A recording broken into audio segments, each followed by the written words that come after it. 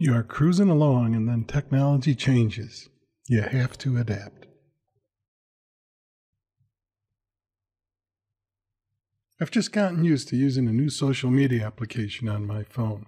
It's fantastic. I'm on vacation taking pictures on my phone and posting them to my personal account.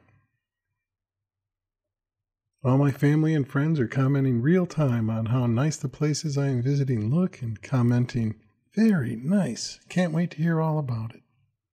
It feels so different from my trip the year before when I carried my 35mm digital camera around my neck, snapping up all kinds of pictures, making sure I brought an extra SD card so I could save all my pictures. This time I left the camera at home, used my phone for everything, and shared my experience real time with family and friends. Six months later, while planning my next vacation, I noticed a picture I took on a travel website. Hey, those are my children in the picture. How did that travel website get my picture? Who said that they could use my picture to advertise their travel services? How did that happen? New social media applications seem to emerge daily. Our friends tell us try this new app, and just when we get used to using one app, everyone seems to jump to a new one, making the one I just learned obsolete. And worse yet, I'm using this new thing, and I'm not entirely aware of how my data will be shared or used. How do we keep pace with technological change? How do we conceive what this change will bring? As we begin this investigation, let's set boundaries. What is technology and what is change? Let's start with technology. For this course, let's use this definition of technology the use of science in industry, engineering, etc., to invent useful things or to solve problems. And how about change?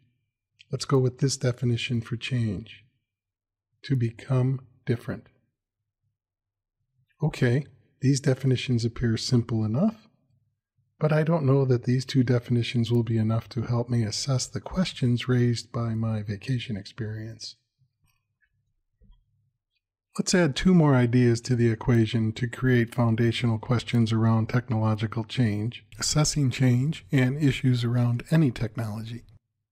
Let's go back to my vacation example. I learned this new mobile app for taking pictures on my phone and how to share the photos on the internet real time with family and friends.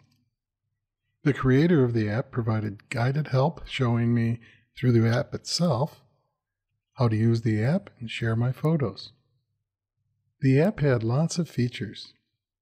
The app developer designed the app to help people use their phone to take pictures, change them, and post the pictures to the internet for easy sharing.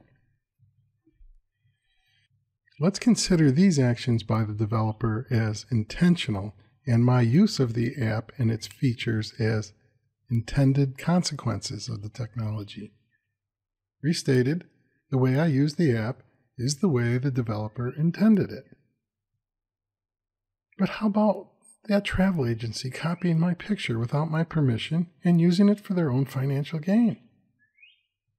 What would we call that action? Copyright infringement? Illegal, unethical, something else? I'm sure the developer of the social media application did not create it with the intention that the travel agency or anyone else would use it to break the law or harm others. Let's consider this an unintended consequence of the social media application.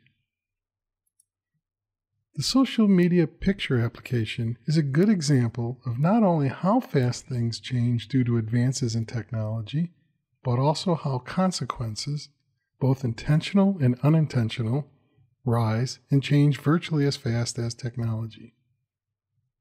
Depending on the technology, consequences can be minimal or enormous. We may not know all the consequences as the technological change goes mainstream. As we jump into the issues of computing, let's consider these four terms and what they mean to us technology, change, intended consequences, and unintended consequences.